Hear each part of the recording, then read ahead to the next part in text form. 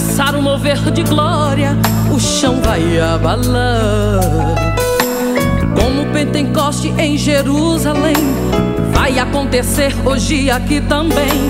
Vejo o Senhor mudando a tua história. Sinais e maravilhas Ele vai operar, porque Deus é Deus neste lugar.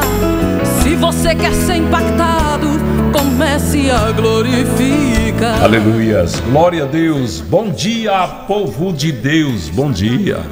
A paz do Senhor, Deus abençoe sua vida, Deus abençoe a sua família, Deus abençoe este dia na sua vida.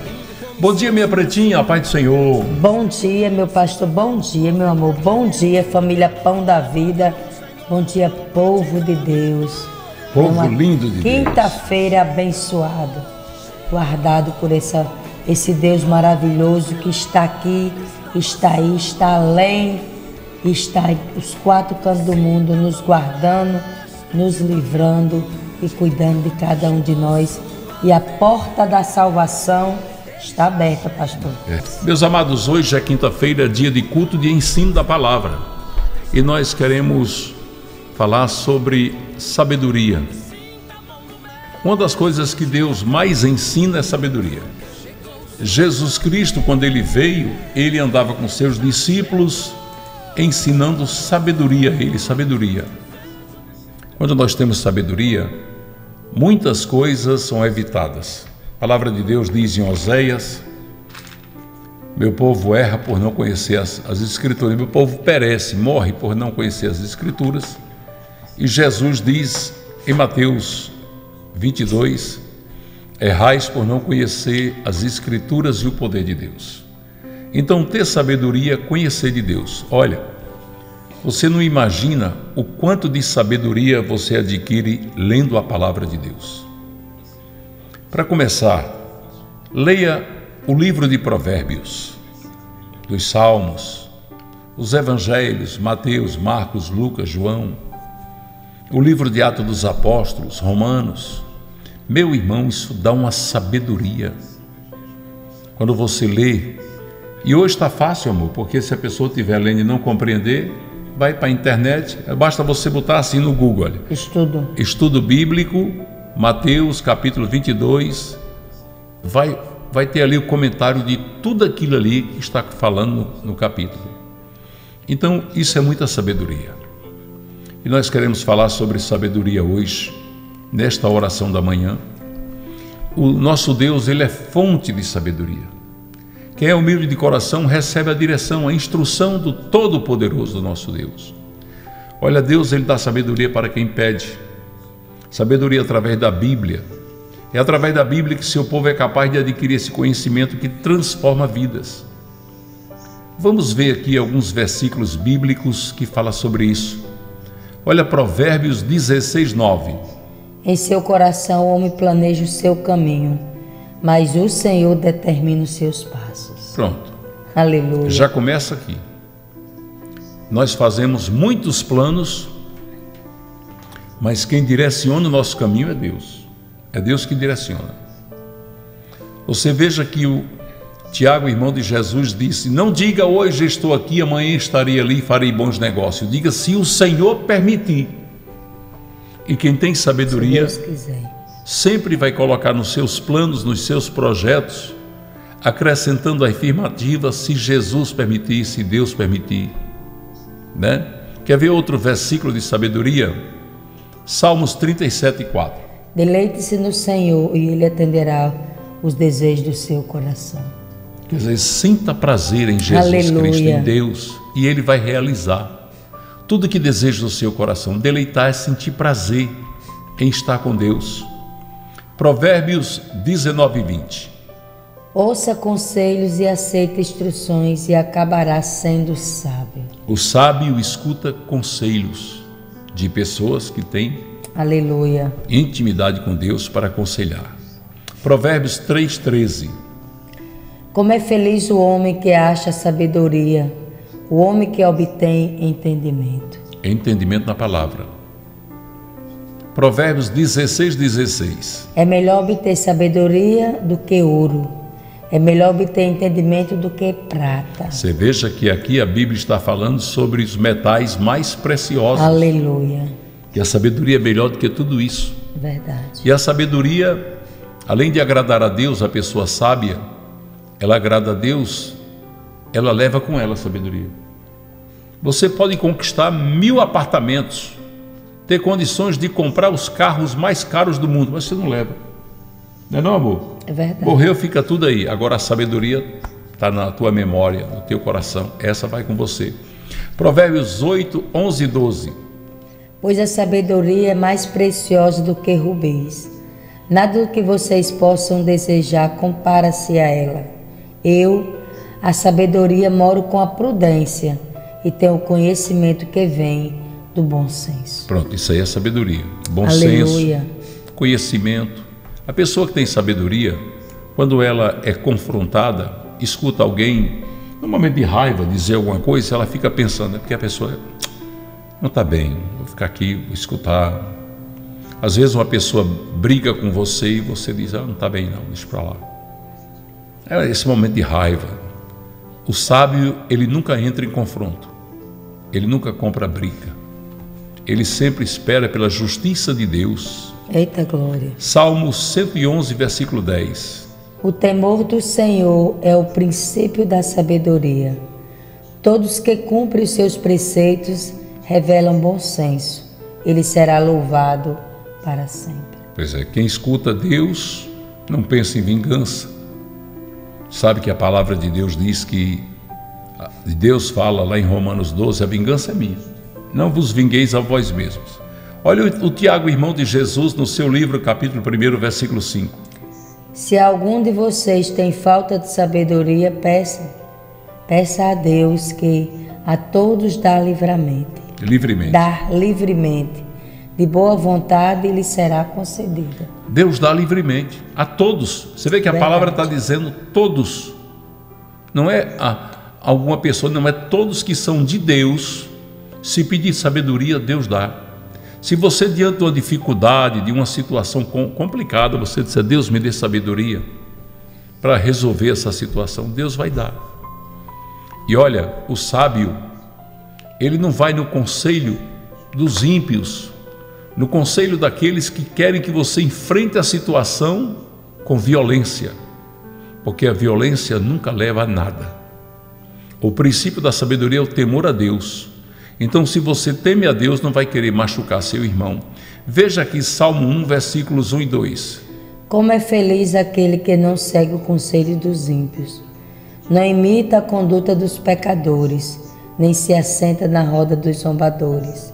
Ao contrário, sua satisfação está na lei do Senhor, e nessa lei medita dia e noite. Olha aí, que coisa linda. Né?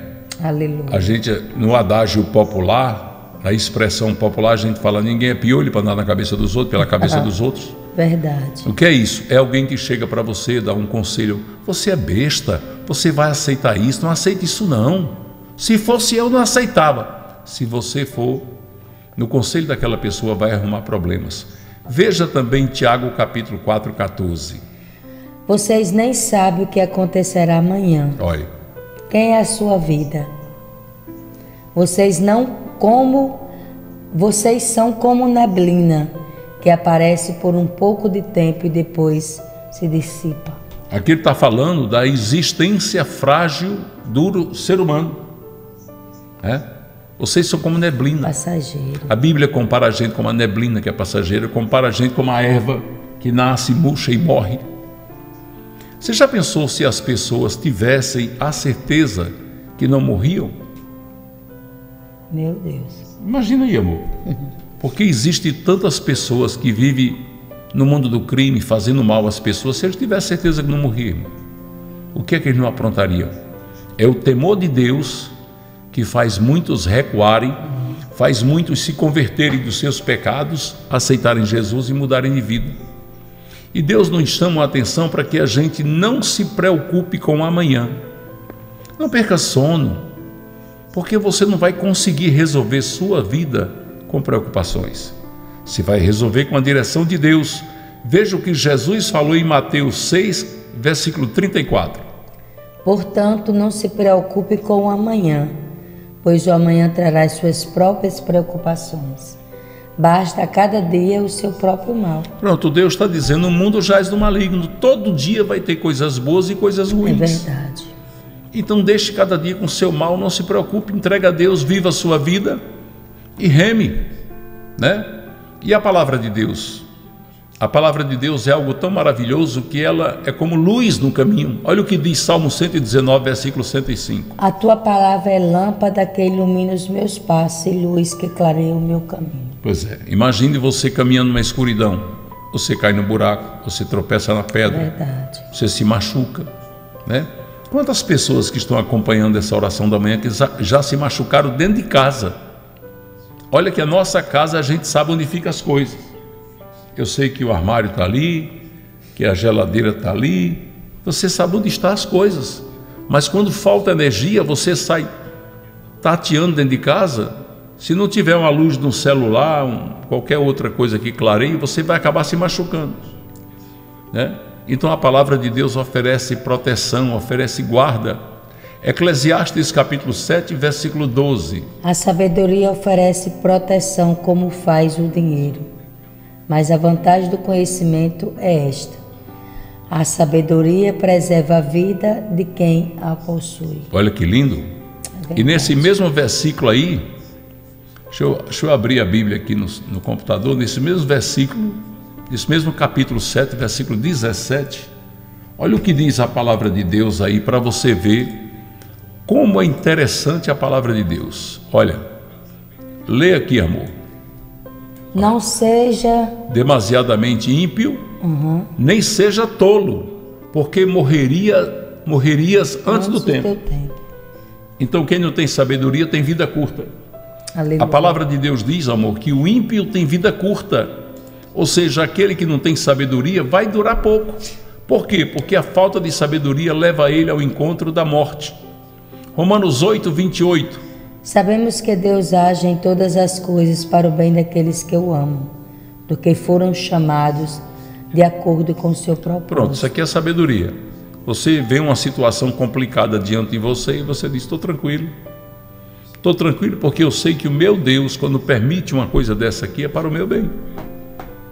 Que todas as coisas que estão acontecendo é para o meu bem. O homem que é sábio, que Deus o ama, Deus dá sabedoria. É a própria palavra que diz, Eclesiastes 2, 26. O homem que agrada, Deus dá sabedoria, conhecimento e felicidade. Quanto ao pecador, Deus o encarrega de ajuntar e armazenar riqueza para entregá-las a quem o agrada. Isso também é inútil, é correr atrás do vento. Deus está dizendo aqui que Aleluia. o ímpio abençoa o justo. Verdade. Agora só que tem um detalhe. A sabedoria de Deus não é uma sabedoria que eu acho que tenho, que você acha que tem, que a pastora acha que tem. É a sabedoria que vem do alto. Provérbios 3, versículo 7. Não seja sábio aos seus próprios olhos, tema o Senhor e evite o mal. Ou seja, não seja sábio pelo seu próprio conhecimento, achando que você é sábio. Não. Seja sábio pela palavra, na direção do Espírito Santo, que Deus vai te dar isso aí. A sabedoria para evitar o mal, a sabedoria para se envolver, para não se envolver em rascada, em momentos difíceis. É a palavra de Deus que está dizendo. Olha aqui o que a palavra de Deus diz. Quantas coisas, amor, falta de sabedoria, sabe o que é? É o preguiçoso. O preguiçoso é muito, tem muita falta de sabedoria. Aleluia. Porque tem pessoas que passam a vida inteira com preguiça, quando fica velho, não trabalhou, não ajuntou nada. As pessoas que ajudavam ele morreram. Eu encontro gente direto dizendo: pronto, pessoas que moram na rua. Acontece muito isso. Minha mãe morreu, minha avó morreu, estou na rua. Quer dizer, era uma pessoa que vivia depois de adulta, dependente de outras pessoas. E a palavra de Deus nos chama a atenção para nós agirmos enquanto temos vida, agirmos em prol do nosso futuro, para deixar alguma coisa de exemplo, de bem para aquelas pessoas que são nossa descendência, os filhos, os netos.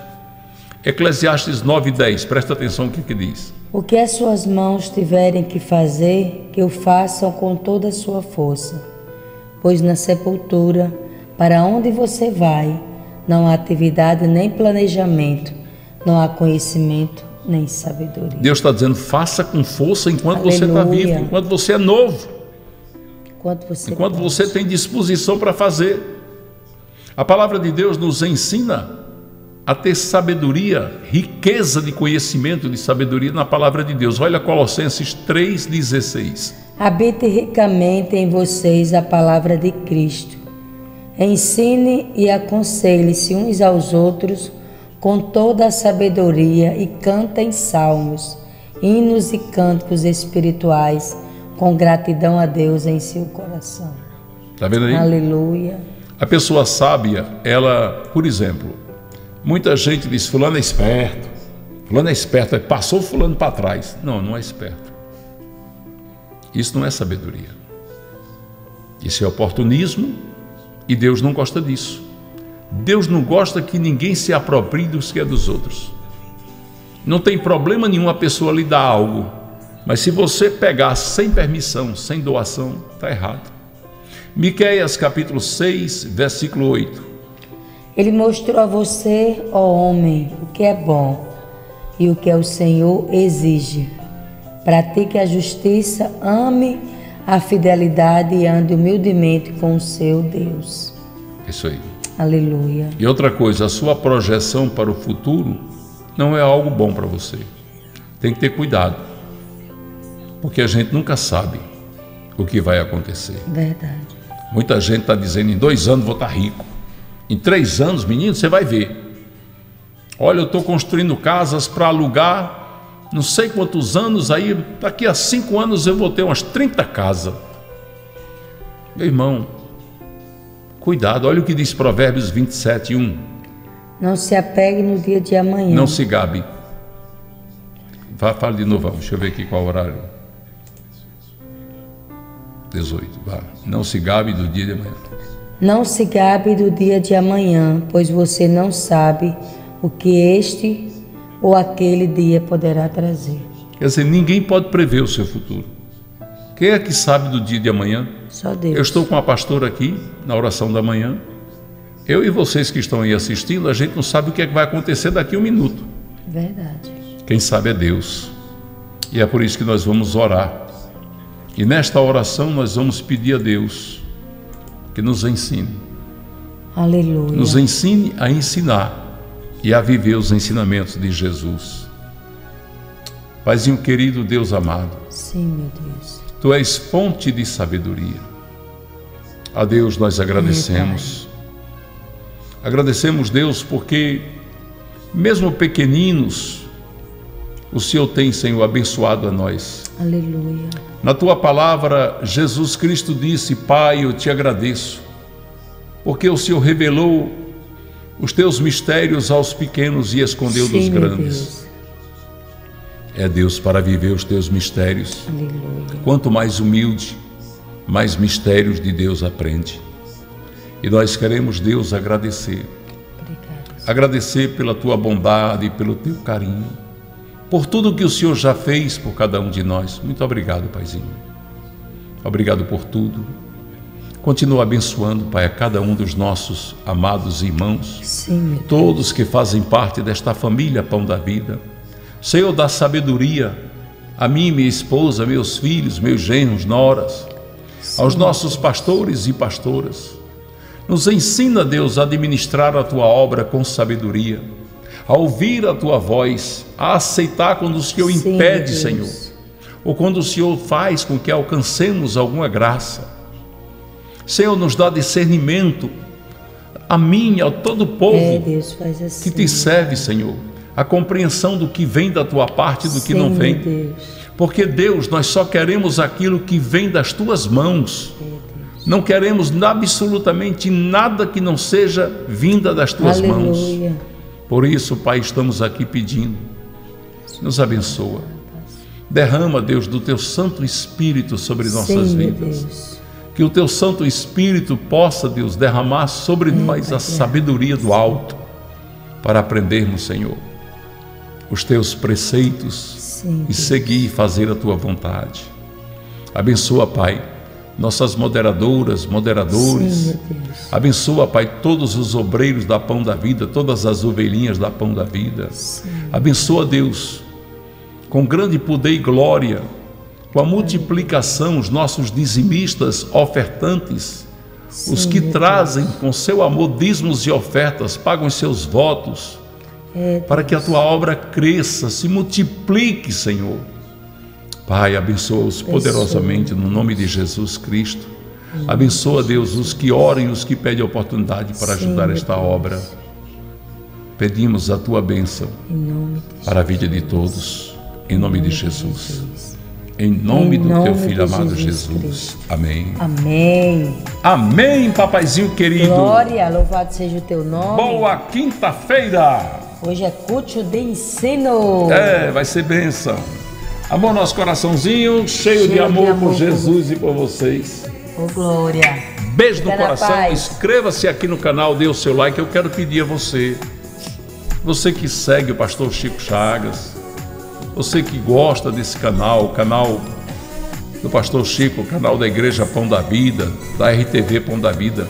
Inscreva-se aqui no canal, dê o seu like, compartilhe, Compartilhe. arranje outras, abençoe as pessoas. Fulano, me dá seu celular aqui. Deixa eu escrever você aqui Faça no canal que vai abençoar a sua vida. Bota Pastor Chico Chagas, inscreva-se, marque o sininho, compartilhe nas suas redes sociais. Quero deixar minha gratidão, meu abraço em nome de Jesus a todos vocês. Muito obrigado. Fica na paz. Deus abençoe. Fica na paz.